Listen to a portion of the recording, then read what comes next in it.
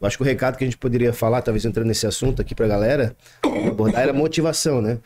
O que, que é motivação, o que, que é disciplina? Porque eu costumo dizer para as pessoas que querem fazer academia, assim, a primeira coisa, que é essa, essa mesma linha aí, só vai até a academia. Só pensa assim, eu vou, só- eu vou só fazer esteira, fazer 10 minutos, tu fala que algumas coisas são negociáveis, né? Negocia com você mesmo, fazer 10 minutos. Se acabar os 10 minutos e eu não, não quiser, eu volto para casa, pelo menos você, você foi. Senão a pessoa morre em casa, né? Acabou a esteira ali, pô, o que, que eu posso fazer agora? Então, para academia, para o público comum, os mortais, que não são os disciplinados Os como atletas. eles, só vai para academia, porque senão o cara chega do trabalho, ah, eu não. Acho que eu não vou. Cara, mas tu que pensa, por exemplo, a minha mulher, a Carol, pô, cara, lá 1 milhão e 800 mil seguidores, Musa Fitness, tudo mais. Todas as mulheres gostariam de ter o físico que ela tem. Ela também chega num determinado dia que o dia foi corrido, chegou sete da noite, ela começa, tipo, Edu, então, acho que eu não vou treinar hoje, porque aí eu faço amanhã, aí hoje eu fico aqui, aí quem sabe eu desço no prédio. Eu falei assim, Carol, só faz. Só vai lá e começa, só, faz. Para de ficar tentando, sabe? é. Aí ela vai lá, faz. No fim, ela deu um baita treino, ficou com aquela sensação Melhor ainda. boa. Isso que eu ia te perguntar, ó, por exemplo, hoje. Hoje eu tava gripado, acordei de manhã, chuva, frio. Óbvio que eu não ia faltar o cardio, mas aquela sensação de desprazer total pra fazer lá uma hora de cardio. Aí coloquei lá meu podcast, comecei a assistir e hoje tava bem difícil porque eu treinei perna ontem, tava gripado. Foi aquele cardio meio precisei fazer um esforço a mais que que, que que como que o nosso cérebro reage diante desse processo de o cara acordar, não tá legal, de repente acaba o cardio, uma sensação de prazer absurda, É aquilo que eu de falei. realização. É aquilo que eu falei no início, Correia. Você, você, você fez um comportamento que ele, que ele gera uma recompensa mais tardia e não uma recompensa momentânea. Recompensa momentânea nesse momento aí era ficar no quarto, deitado embaixo das cobertas, descansando. Isso, era, ia, isso ia ser é, é, proximalmente recompensador para você.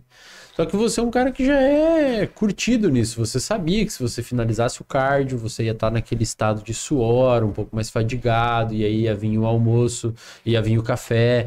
Isso é o que? A dopamina agindo? Dopamina agindo, motivação funcionando, e você. é, e, principalmente, você- assim como a sua esposa, é, vocês dois aprenderam que se fizer depois vai ser legal. Esse é o jogo. O cara que tá em casa, muitas vezes, ele não aprendeu isso ainda. Tipo, não, vai lá que vai ser melhor depois, o depois vai ser legal, você tem que passar por esse momento de desconforto e o depois vai ser legal. Agora, essa parada de falar pra galera, faixa preta, cara, pra você formar um hábito de academia ou alguma coisa assim, a melhor coisa que você pode fazer no início de tudo, primeiro, é automatizar o máximo possível. Então, assim, cara, se você quer começar uma academia e tal, meu, não pega aquela academia que você tem que pegar dois ônibus pra ir, cara. Você não vai fazer, cara. Tenta pegar no início uma academia próximo, uma academia que você chegue fácil nela, inicialmente. Depois que você já tiver com o hábito de treinar, em dias ruins você não falta, aí você pode ir pra uma academia mesmo que mais longe, que você goste e tal. Mas no início tem que automatizar o processo. Quanto mais você automatizar o processo, melhor. Quer começar a beber mais água? Tem uma garrafa d'água sempre na sua fuça, assim, ó, te olhando. Deixa aqui a garrafa d'água na sua cara, assim, na frente do seu computador. A tela tá aqui, deixa a garrafa aqui, ó. Você não vai levantar pegar água, cara. Você não vai levantar. Não quer comer doce? Não tenha doce em casa. Eu. Às vezes você vai na, na, na cozinha, você nem tava com a possibilidade de comer doce, você viu a caixa aberta de bombom te olhando. Aquilo não tava no seu repertório de comportamento. É Você ia oportunista. você ia fazer outra coisa, cara. tá ali o negócio te olhando. Ah, vou comer um chocolatinho. Então, formação de hábito. Automatiza o máximo possível. Tem um treino amanhã, eu vou correr amanhã cedo, o meu aeróbico é cedo. Meu, tem uma bike em casa, tem um prédio que tem a- uma academia para você fazer seu aeróbico. Vai correr amanhã, deixa o tênis pronto, deixa a roupa pronta. Que entra na questão da organização que tu falou. Organização, exato. O Drauzio Varela, Dr. Drauzio Varela, 72 anos, ele correu a maratona de Nova York. 72 anos. Ele, inclusive, falou isso dos postes. Cara, ele falou que depois dos 30 existe um muro. Tipo assim, depois dos 30 quilômetros, ele, ele ficava lendo as placas, assim, sabe? Os outdoor, pra se interter a cabeça, porque se- o corpo tava mandando parar. É bolha no pé, é tudo arrebentado. E 72 anos na época, quando ele correu. Ele fala assim: quando eu vou correr de manhã e treinar, cara, eu, eu tenho um acordo comigo mesmo. Eu vou botar o tênis, vou até a esteira ou até o parque, e a hora que eu chegar lá eu decido se eu não vou fazer. Isso. Mas se não. em Se ca- coloca na situação. Cara, né? em casa eu não vou decidir. É. Eu vou chegar lá. Daí eu posso chegar lá e falar, bom, não, aí você faz, velho. Você já tá lá, você, você acaba alguma coisa você faz. Deve ter comido muita mulher com essa estratégia aí. É o cara esquivar da esquiva. Hein? Exato. Que- Exato. E aí você faz as malandragens, cara. Tipo, deixa pronto seu tênis, organiza ali. Cara, eu sou assim até hoje, sabia? Eu, por exemplo, amanhã de manhã eu vou fazer cardio. Eu já separo uma calça de. Uma calça de. Aquelas calças de lycra, compressão. Uma bermuda que eu vou usar por cima da calça, que combine com a calça, pra também não parecer um palhaço lá na academia do prédio. Aí meu tênis com a meia já. E a camiseta, um agasalho e tal. Eu já de- deixo pronto, cara. Parece criança, Ou seja, assim. ele, po- ele posta o look do dia. Entendeu? Não, eu deixo preparado, cara, porque o que acontece? Quando eu levanto, eu, eu vou no banheiro, faço xixi, subo na balança, checo o meu peso e entro na roupa e deu, cara. É. Imagina de manhã cedo eu ter que olhar, puta. Gripado, chovendo. Não, aí beleza, cadê minha calça? Ah, tá na lavanderia. Aí eu vou lá procurar na, na roupa pra passar minha calça que eu não vi antes. Sabe assim, cara? É. Aí isso gera um nível de estresse. Tu já pensa assim, cara, já tô aborrecido de manhã cedo. É o cara que tem que ir pra academia e pegar, tipo, dois busão, ou não sei, ou pegar um Uber caro. Meu, você tem que tentar, no máximo possível, automatizar o processo, que isso vai deixar mais simples. Dieta, cara. Pô. é, Você Cara- vai chegar às 8 da noite em casa e vai ter que preparar o rolê. Você sabe que você não vai preparar o negócio. Deixa pronto, final de semana. O difícil de fazer dieta não é comer os alimentos. Cara, se eu te der.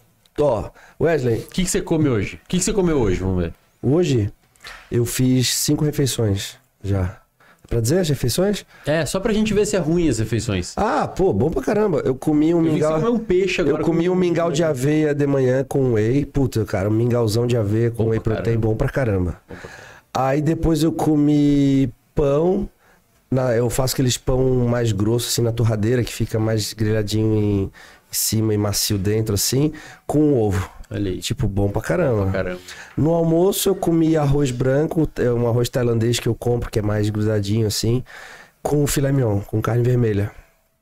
Porra, tô até salivando falar. Aí, depois do treino, eu comi é, filé de tilápia com arroz branco também. Só que aí eu preparo com curry, com lemon pepper, eu faço, jogo um limãozinho espremido em cima, fica top. E aí, agora que agora o bicho começou a pegar, mas tava bonita. Tipo, agora eu comi tilápia com vegetais, mas aí fiz brócolis, fiz um vinagretezinho, fiz o. Bom pra caramba. E a minha última refeição vai ser carne vermelha com vegetais, mas daí eu, pô, uma puta carne vermelha gostosa, suculenta, entendeu? Mas é, isso não, isso, é, isso, é, isso não é o difícil.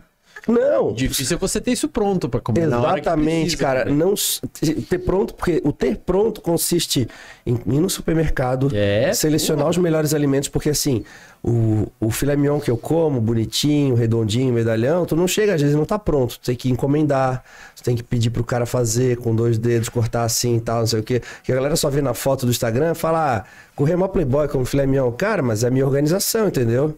Tipo, eu tenho todo o meu planejamento e as minhas prioridades. Então, o difícil é justamente tu conseguir selecionar os alimentos, a forma de preparo e a organização para te conseguir incluir isso no teu dia a dia. Então, esse é o maior desafio de fazer dieta. Cara, eu tenho uns pacientes que me procuraram pra melhorar alguns hábitos, assim, implementar novos hábitos. Meu, é. É assim, eu não sei se a pessoa não sabe, não percebe, ou ela finge não perceber. Cara, a pessoa trabalha até as 8 da noite. Chega em casa às 8 da noite. Aí a pessoa fala: Não, mas daí na, na volta do trabalho eu vou passar, eu passo normalmente no mercado. Aí eu chego em casa e cozinho minha janta. Eu, eu olho aquilo e falo, cara, nem você, você sabe que você não vai fazer isso, cara. Você vai voltar do trabalho, no- exausto, todo dia. Aí você vai passar no negócio que tá cheio pra caramba de gente, o mercado lotado 8 da noite. Aí você vai chegar e vai fazer o teu negócio pra. Você vai chegar, vai jogar no, se jogar no sofá, olhar o Instagram e, ah, bom, vou pedir um iFood, vai pedir. Às vezes pede até uma comida, mas não é a mesma coisa, muita Sim. gordura e tal.